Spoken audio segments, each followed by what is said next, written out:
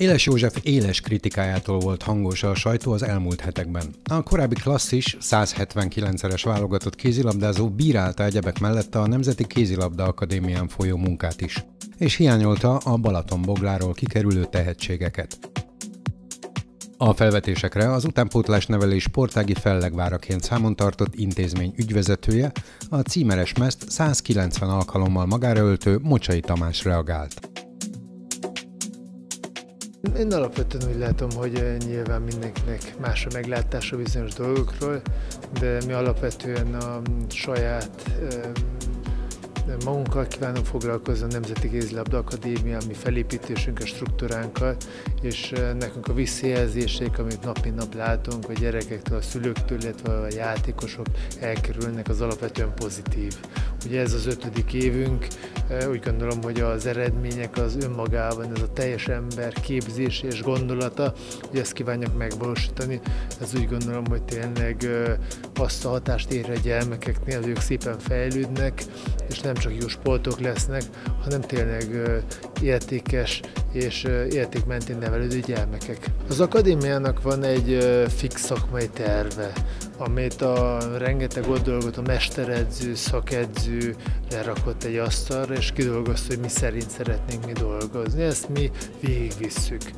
Nyilván a kézlabdasport változik, és mi nyitottak vagyunk, és tanulunk mást és szívesen, de viszont azt tudjuk, hogy az a program, amit mi elvégzünk, és a diákokat, akik évente egyébként háromszor felmérünk, és látjuk az eredményeiket, hogy folyamatosan fejlődnek, azt látjuk, hogy ez jó ezt a utánpótlás válogatottban szereplő gyerekek, ez közel a 140-ből egy ilyen 55 gyermek, ugye ez is megmutatja. Azt is megmutatja, hogy a végzős diákjaink közül, ami tavaly volt az első garnitúra, tényleg hát abból a 32 gyermekből hát 18-19 MB1-be került.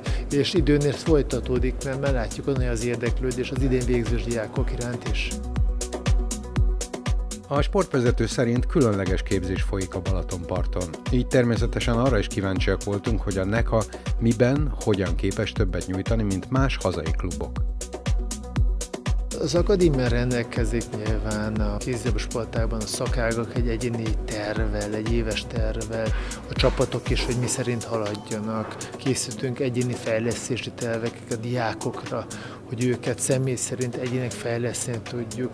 A képzés nem csak arra vonatkozik, hogy hogyan legyenek szakmailag, taktikailag, technikailag jobbak, hanem ugyanúgy a kondicionális képességeiket, az atlétikus képességet, mentális képességekkel foglalkozunk, és emellett, mivel ezek mi gyerekről beszélnünk, hagyjuk, hogy gyermekek legyenek nyilván, annak is kell szabad területet hagyni, és a kollégiumi résznek ugye meg segíteni kell az iskola továbbtanulás. Úgyhogy úgy gondolom, hogy ennek az összevetője, ez a teljes körűség, és amit még nem mondta, nagyon fontos részünk például a tudományos háttér, nagyon fontos részünk a rehabilitáció, a prevenció a gyerekeknek, hogy ebben az életmódra, erre a gondoskodás módra őket megtanítsuk, hiszen akkor tudjuk neki bátran elengedni a kezüket.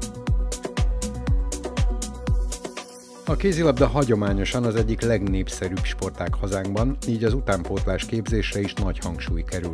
A fő kérdés, hogy jó irányban zajlanak-e a változások, illetve, hogy miként tarthat lépést magyar képzés a világ elittel. Mocsai szerint az ebben a bajnokságban pályára lépő légiósok számának korlátozása is szerepet játszhat, miáltal a magyar fiatalok is több lehetőséget kaphatnának ki kell menni, és egy sportákban példákat kell keresni, legyen az kosárlabda, kézilabda, labdarúgás, hogy Európában vagy máshogy ezt eh, hogyan tudják neten korlátozni, annak érdekében, hogy a saját nemzeteknek a játékosai, csapatai előtérben maradjanak. Én úgy gondolom, hogy a, az utánpótlás képzés önmagában egy, eh, az egyik legfontosabb bázis a kézilabda sportnak.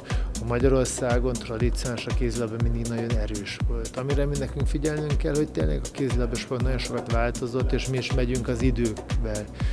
Nyilván remélem, hogy rengeteg sok és jó edzőnk is van, amire oda kell figyelnünk azok a képzés utáni időszakra, amikor a 18-21 éves korban a gyerekeknek arról beszélünk, hogy hol kapnak játék lehetőséget, hogyha kiöregednek tényleg a, a junior korosztályból, az ifi korosztályból, hogy hol játszanak, milyen csapatokban, mennyi terhelést kapnak, és mennyi játék lehetőséget. Úgy gondolom, ez kulcsfontosságú, és hát erről tényleg közösen gondolkodnunk kell.